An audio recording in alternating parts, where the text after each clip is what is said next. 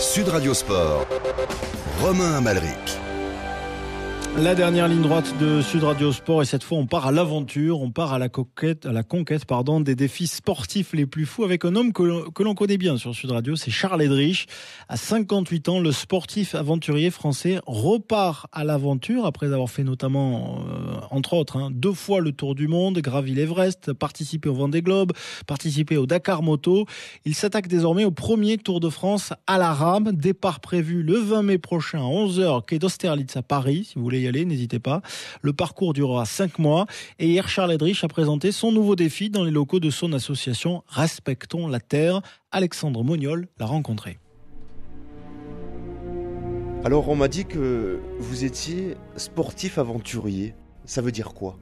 Bah, j'ai rien trouvé de mieux, vous avez peut-être une idée, j'ai rien trouvé de mieux pour caractériser donc ma passion. Aventurier, bah, parce qu'il y a des, expéditions que je mène et on peut parler d'aventure. Hein. donc passage nord-ouest à la rame, je pars du détroit de Bering, euh, extrême nord de l'Alaska, extrême nord du Canada, je passe 165 jours dans un tout petit bateau. Euh, donc à rame, 160 kg à vide, euh, je suis soulevé par une baleine, je suis attaqué par un ours blanc, et puis en même temps, euh, je fais des sports euh, type euh, Pierre donc Ironman, Ultra Trail, où on est plus dans le sport, dans la compétition, que dans la grande aventure. Et donc là, la nouvelle aventure, c'est le premier Tour de France à la rame, c'est ça? Voilà, donc avec le même bateau que le bateau que j'avais donc sur le passage nord-ouest. C'est un bateau en Kevlar carbone, donc hyper léger, extrêmement solide. La seule fois où je suis arrivé à abîmer mon bateau, si on peut dire, c'est en lui, avec un coup de fusil, tiré de l'intérieur. Alors je précise, je ne l'ai pas fait exprès. J'avais tiré mon bateau sur euh, la berge avec des Inuits. Et il y avait pas mal d'enfants qui tournaient autour du bateau. Et mon fusil était constamment armé avec une balle engagée pour les ours. Et donc je me dis, tiens, il faut quand même enlever la balle qui est dans le canon. Je rentre à l'intérieur du bateau, je touche la crosse et le coup part. Alors Charles Edrich, est-ce qu'on peut donner un petit avant-goût, faire une, description d'un passage qui, fera partie de votre euh, expédition? Eh bien, on peut dire oui, bien, sûr, le canal du Midi, hein, c'est fantastique, hein, il y a des paysages euh, extraordinaires, euh, en plus ça sera la belle saison. Les gens sont même étonnés qu'on puisse faire un Tour de France à la rame, dans la continuité totale. En tout et pour tout, je crois qu'il va y avoir 500 mètres où je suis obligé de traîner mon bateau, il est équipé de petits trous, pour passer du canal de l'Ourcq au, à la Marne. Le reste du temps, je vais être constamment sur l'eau. 3000 km, plus de 500 écluses.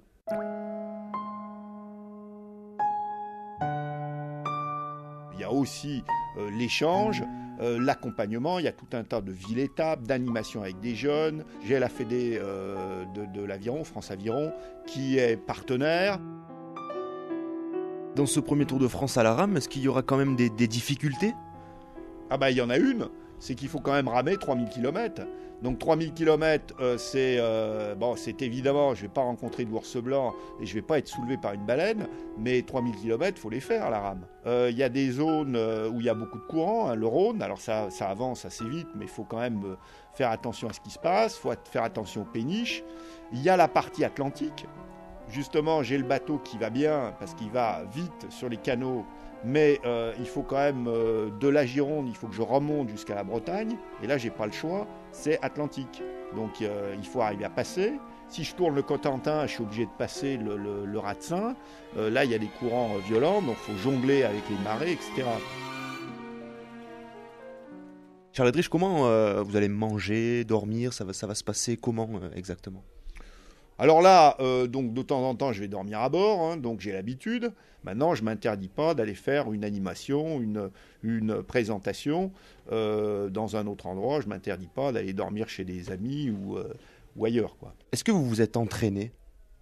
Alors, bon, pour faire ce genre de choses, il faut être en pleine forme. Mais ça ne sert à rien de s'entraîner d'une façon vraiment spécifique.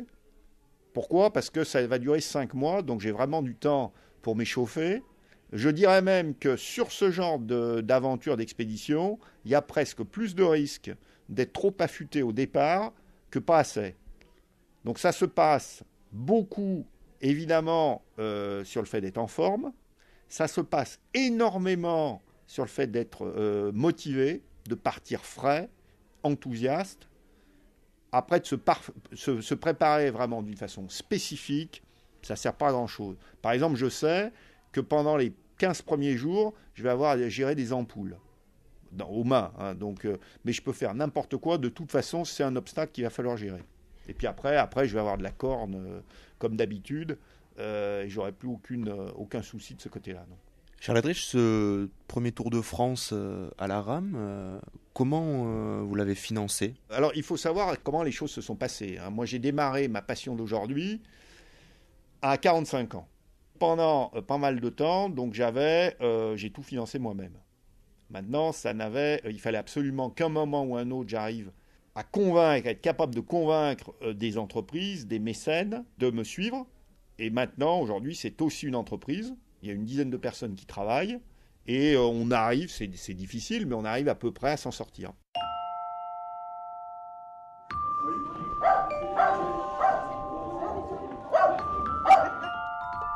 Charles, on voit aussi euh, sur les photos de votre bateau, votre chien. Euh, alors, est-ce qu'il va venir avec vous? Oui, alors mon chien, euh, c'est un sportif, hein, c'est un Jacques Russell, donc je l'emmène partout, aussi bien sur le Mont Blanc, à l'entraînement, etc. Donc il va faire le Tour de France avec moi.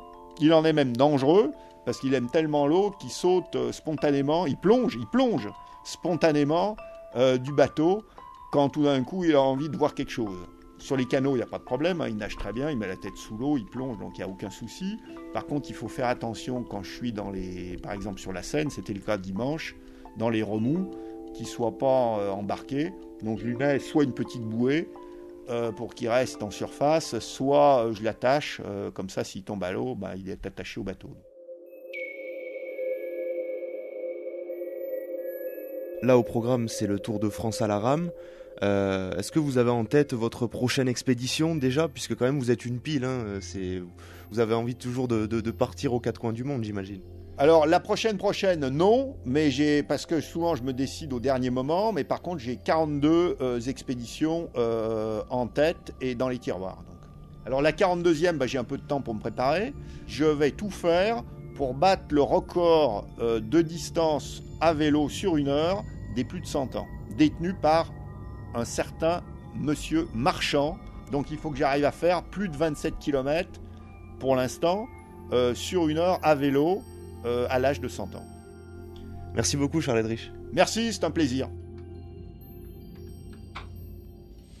Et pour suivre Charles Edrich dans ce Tour de France à la rame et découvrir toutes les étapes avec les animations prévues autour de l'événement, rendez-vous sur, euh, sur le site, hein, tout simplement, charlesedrich.com, Edrich avec un H, et sur les différents réseaux sociaux. Voilà pour l'émission de ce soir. C'était bien de conclure par ce, ce petit, euh, cette petite aventure de Charles Edrich. Bon, ça fait rêver. Véritable peu. aventurier, ça fait rêver. Je- du coup, je regardais sur la, sur la carte, en effet, par où il allait passer, euh, le canal du Midi, il passe euh, le, la Ro- le Rhône, la, la Seine, un petit peu, voilà. Il se, sert des, des canaux pour, euh, pour naviguer.